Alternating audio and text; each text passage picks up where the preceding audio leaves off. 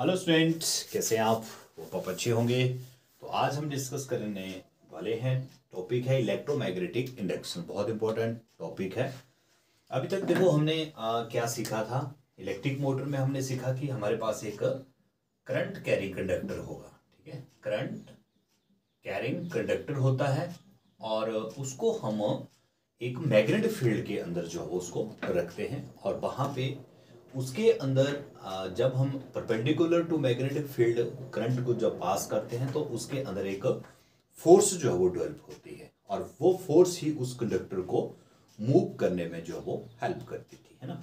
अब हम इसमें हम क्या देखेंगे? इसमें हम क्या करेंगे कि हम एक कंडक्टर होगा हमारे पास, जिसमें करंट जो है वो नहीं होगा बट उसको हम क्या करेंगे? एक मैग्नेटिक फ़ील्ड के अंदर रखेंगे। ठीक है? मैग्नेटिक फ़ील्ड दैट या मैग्नेटिक फ़ील्ड होगी या मूविंग मैग्नेटिक फ़ील्ड होगी, जिसको हम मूव करवाएँगे। और वहाँ पे हम उसके अंदर करंट डेवलप करने की यहाँ पे कोशिश जो है वो करेंगे। तो यहाँ पे मेरे पास एक सेटअप मैंने किया है ये। एक कॉइल मैंने ली है यहाँ पे और उसको मैंने एक नॉन कंडक्टिव मटेरियल के ऊपर रैप किया। जैसे प्लास्टिक का रोल ले लिया मैंने या फिर कागज़ को मैंने इस तरह से रोल कर दिया। उसके ऊपर मैंने ये कॉइल जो है वो लगा दी है। और एक मैंने यहाँ पे लगाया है गैल्वेनोमीटर ठीक है? और इसके साथ मैंने एक यहाँ पे परमानेंट मैग्नेट जो हो लिया हुआ है। ये सेटअप मैंने किया। अब देखो यहाँ पे हम चार केसेस स्टडी करेंगे। ठीक है? फोर केसेस आप स्टडी करेंगे और फोर केसेस में आपको पता लगेगा कि ये आ, क्या डेमोस्ट्रेट जो वो कर रहा है। तो फ़र्स्ट केस में देखो सबसे पहले जो इसका मैग्नेट का नॉर्थ पोल होगा, ठीक है? मैग्नेट का जो नॉर्थ पोल होगा, उसको मैं इसके नज़दीक लाऊँगा, इस जो कॉइल मैंने रैप की है इसके ऊपर। इसके नज़दीक में लाने की कोशिश करूँगा इसको नॉर्थ पोल को, ठीक है? जैसे मैं इसको नॉर्थ पोल को इसमें लाने नज़दीक लाता हूँ तो ये जो गैलोमीटर है, यहाँ पे ये एक डिफ्लेक्शन शो करता है टूवर्ड्स राइट साइड को। डिफ्लेक्शन जो है वो शो करता है। ठीक है? अब मैं क्या करूँगा? अब जैसे मैं इसको स्टेशनरी कर देता हूँ, स्थिर कर देता हूँ कांस्टेंट कर देता हूँ, एक जगह पे इसको अगर मैं रखता हूँ मैग्नेट को तो क्या होता है? तो यहाँ पे जो डिफ्लेक्शन शो करता है गैल्वेनोमीटर वो क्या डिफ्लेक्शन करेगा? ये आ जाएगा आपका ज़ीरो के ऊपर जो वो आ जाता है। यानी कि जब ये स्टेशनरी इसको हम रखेंगे। तो ये ज़ीरो पे आ जाता है। अब मैं क्या करूँगा इसको? इस मैग्नेट को मैं यहाँ से मूव कर दूँगा। जैसे मैं इसको यहाँ से हटा दूँगा, इस कॉइल के नज़दीक से इसको मैं हटा दूँगा तो आप दोबारा से इस गैल्वेनोमीटर में एक डिफ्लेक्शन देखेंगे। बट ये डिफ्लेक्शन क्या होगी? अपोजिट साइड को होगी। जो पहली को राइट साइड में थी ना, अब ये हो जाएगी लेफ़्ट साइड को। जब मैंने इसको वहाँ से मूव करवा दिया। ठीक है? ये दो कंडीशन हमने यहाँ पे देखी। तीसरी कंडीशन मैंने देखी कि जब इसको हम स्टडी कर देते हैं, स्थिर कर देते हैं मैग्नेट को तो वो गैलोमीटर जो है वो, उसकी जो नीडल होती है, वो शो करती है ज़ीरो ओके और जैसे मैं इसको मूव कर देता हूँ, यहाँ से हटा देता हूँ तो जो डिफ्लेक्शन आती है, वो आती है लेफ़्ट साइड एक केस ये हमने किया, ठीक है? सेकंड केस में हमने क्या करना कि अब मैंने जो मैग्नेट है, उसको मैंने कर देना है स्टडी एक जगह के ऊपर इसको मैंने कांस्टेंट कर देना है। इसको मैंने कांस्टेंट कर दिया। अब मैंने इस क्वाइल को क्या करना है? क्वाइल जो है मेरे पास, इसको मैंने नॉर्थ पोल की साइड को ले जाना है।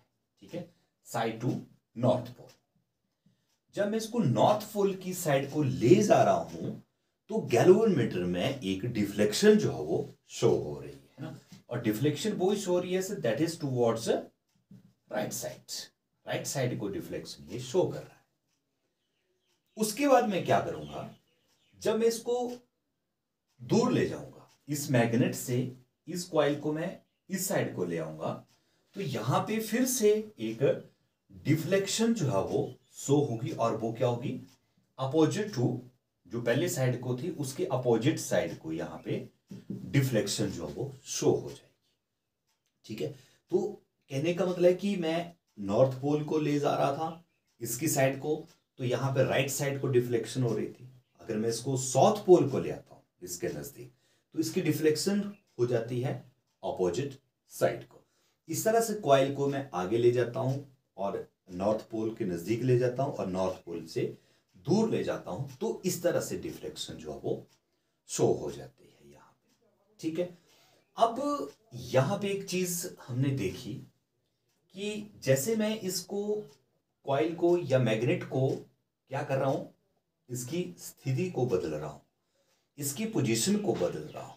तो इसकी पोजीशन या कॉइल को जब मैं मैग्नेट फ़ील्ड के अंदर रख रहा हूँ तो वहाँ पे क्या प्रोड्यूस हो? रहा है वहाँ पे इंड्यूस्ड करंट जो है वो प्रोड्यूस है, क्योंकि वहाँ पे एक इंड्यूस्ड पोटेंशियल डिफरेंस जो है वो क्रिएट हो रहा है। यहाँ पे एक डिफरेंस जो है वो क्रिएट हो रहा है, जिसके कारण बताया मैंने कि ज़ीरो पे जा रहा है, ये राइट को आ रहा है लेफ़्ट को आ रहा है।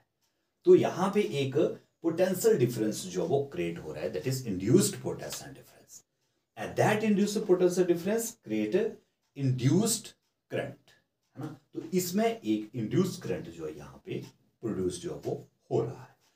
मींस कि हमने मैग्नेटिक मैग्नेट से ही क्वाइल के अंदर जो हो करंट प्रोड्यूस कर दिया। ठीक है? फेरेडे माइकल फेरेडे जो था ये, इन्होंने ये कंसेप्ट जो वो दिया था 1831 में फेरेडे ने। और ये बहुत अच्छा कंसेप्ट जो वो बाद में प्रूव हुआ था। अब यहाँ पे एक चेंजिंग करेंगे हम यहाँ पे। एक चेंज क्या लाएँगे हम?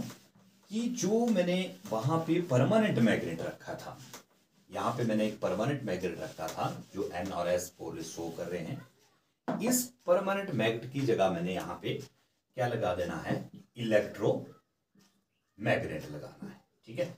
ये मैंने एक सेटअप किया है। यहाँ पे मैंने ये number of coils 50 to 100 turns इसमें लिए हुए हैं मैंने क्वाइल्स के। और इसके साथ मैंने एक source of energy that is battery जो है, यहाँ पे लगाई, एक स्विच के साथ।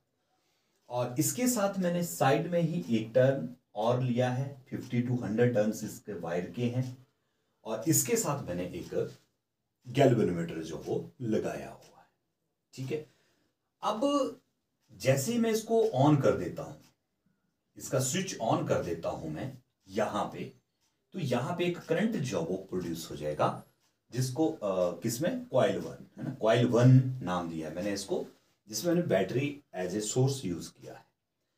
जैसे मैं इसको ऑन करता हूँ, यहाँ पे करंट जो है, एक डेवलप हो जाता है।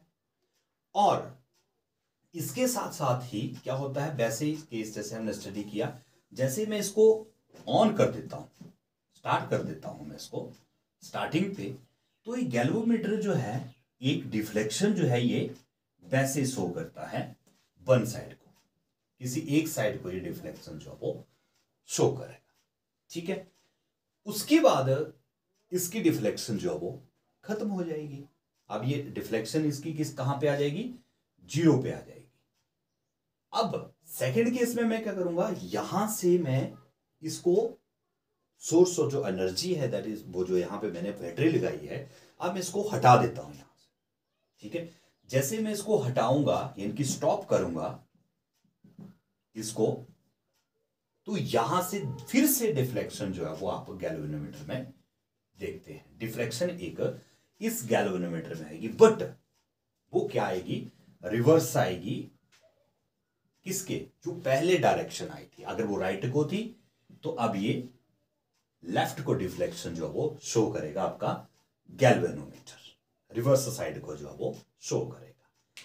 ठीक है? ये ये एक्टिविटी हमने यहाँ पे डेमोस्ट्रेट कर। अब इस एक्टिविटी से हमने क्या कंक्लूजन निकाला? इन जो ऑब्जर्वेशन यहाँ थी, चाहे यहाँ थी, यहाँ से क्या ऑब्जर्वेशन में निकली? कि जो आपकी क्वाइल वन थी क्वाइल वन में जब जब हमने करंट जो है यहाँ पे लगाया तो यहाँ पे एक मैग्नेटिक फ़ील्ड जो वो डेवलप होती है। ठीक है?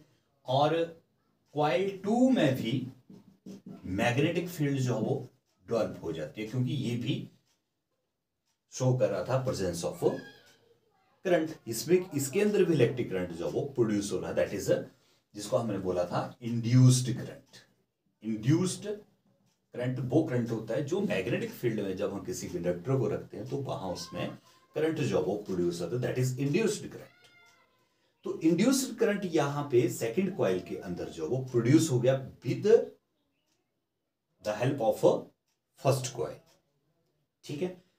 अब ये हुआ कैसे?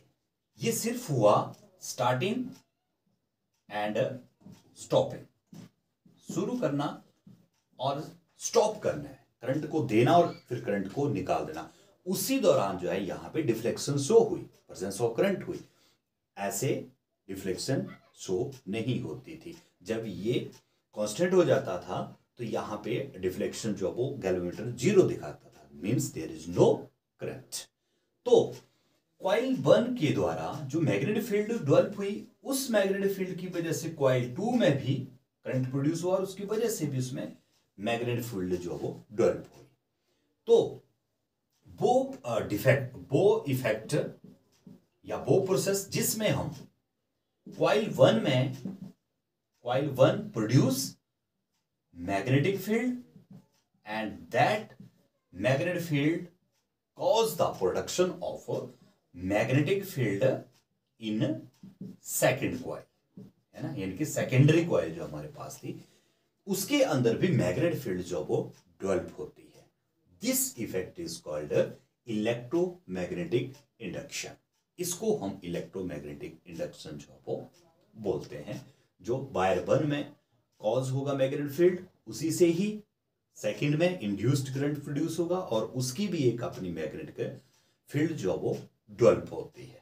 तो उसको उसको हम क्या बोलते हैं? इलेक्ट्रोमैग्नेटिक इंडक्शन उसको हम बोलते हैं ठीक है? तो ये जनरल प्रैक्टिस में अगर हम देखते हैं तो यहाँ पे हम आ, या तो क्या कर सकते हैं? Moving magnetic field magnetic field को मूव करेंगे है ना? यानी कि जो मैग्नेट होगा उसको मूव करवाएँगे या फिर हम क्वाइल को मूव करवाते हैं। ये जो मैंने बताया था ना आपको, या तो क्वाइल को हम आगे पीछे करेंगे, या फिर हम मैग्नेट को आगे पीछे करेंगे for the production of induced current तो वैसे जो बेस्ट मेथड रहता है वो मूविंग क्वाइल रहता है।